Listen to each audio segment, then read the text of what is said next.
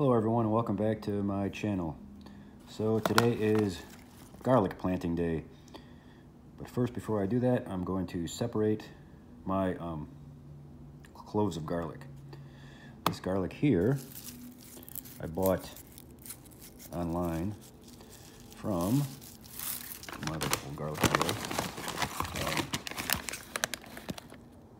here. Um, seeds and this is a hardneck garlic and that's all I'm going to be planting today because I'm in the cold zone 5. Uh, this is Ukrainian red. Um, so what you want to do is try to be careful and not damage this paper coating. Just break them apart if you can. Sometimes, oh, there you go. Breaks apart real easy right there. Just want to separate them. So all you do is like a regular clove of garlic. You notice how much bigger these are than that soft neck garlic you buy in the store? These are pretty big if you see, compared to the soft neck. Um, and I already separated some from the garden last year I had. Here's the cloves I got from there that I'm going to be planting. And these cloves are music garlic and another type of red garlic, and I don't remember the name of the other one. Um, I'm not too concerned. It's all garlic and going to taste very good when I cook it up or use it. And another thing you can do if you're having a, some problems getting the garlic apart, you can use a, like a paring knife, but just be careful you don't like stab yourself or damage the garlic. You don't want to do that. Um, just get in there between the grooves and keep your fingers out gently, just break them apart. That works too. Also, when you're picking your garlic to plant, make sure they're all firm, not soft, blemished like that. You want to make sure you have a good success rate. These are all nice, firm, not soft, squishy, not shriveled up. So these are going to be, these should grow really well. Yes, that's another thing you want to do when you're planting your garlic. Choose the biggest cloves you can and make sure they're blemish free, not soft, squishy, stuff like that. And of course, it's another good thing about growing your own garlic is you'll have garlic again for the next planting season that will be free of charge. You'll have a, a perpetual um, supply of garlic you can keep planting over and over again. So anyway, so I'm headed out to the garden plot to plant and I will see you there.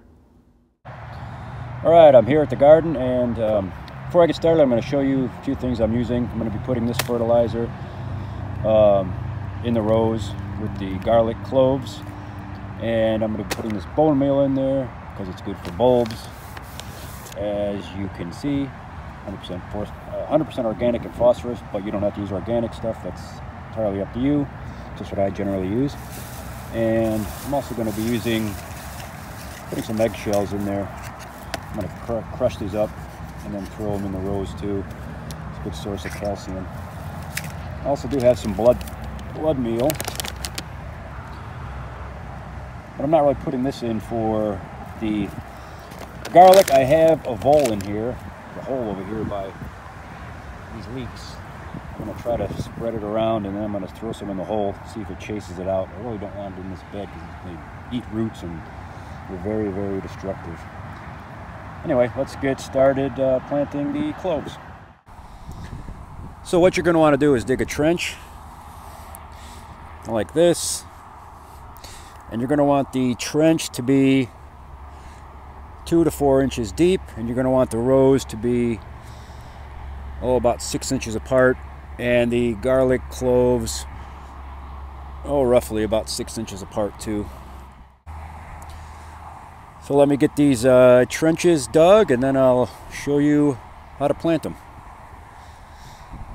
All right so I got three rows put in um, so here's what I'm going to do. I'm going to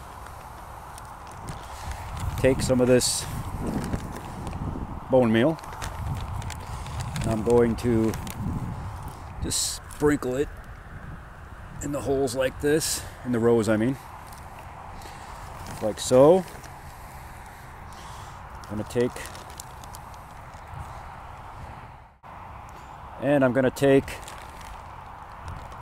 this fertilizer and sprinkle it in the row, like so. And then when you do that, you're going to kind of want to work it in a bit. That's what I always do. I mean, it's organic, so it shouldn't burn anything um, at all. Just work it in. In fact, I'm to add a little bit more. So get the get the cloves off to a good start. More fertilizer. Just eyeball it, that's what I do. Or you can follow directions on the bag, but I never have a problem doing it this way. So yeah, just kind of work it in. Like so.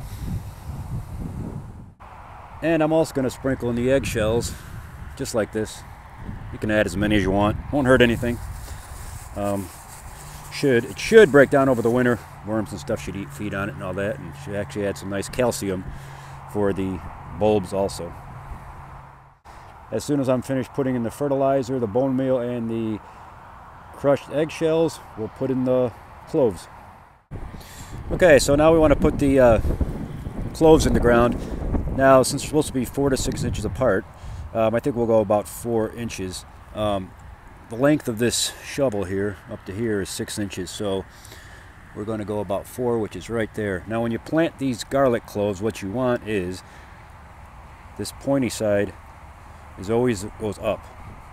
This part here goes down. So pointy side up, this other part here is down. So see where we're at here.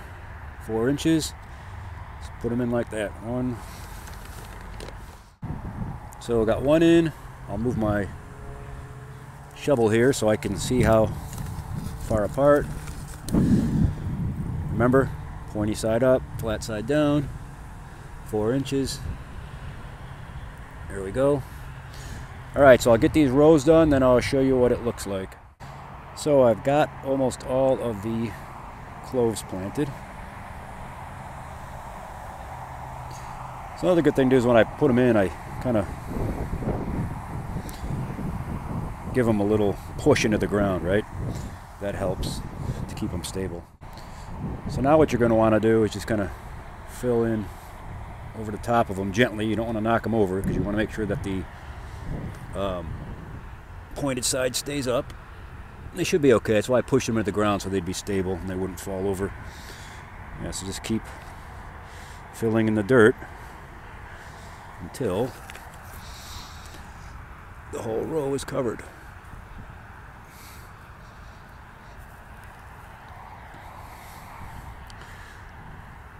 So that row is done. So this row is all filled in. So what I like to do is, once it's filled in, is pat the soil to firm it up a bit. I also like to do at the end is, now that they're all planted, see everything's in the ground, you really can't see because it's all covered up. What I like to do is just kind of, I'll sprinkle some more of this phosphorus on top, a little more of this fertilizer, and then I'll just work it in a little bit.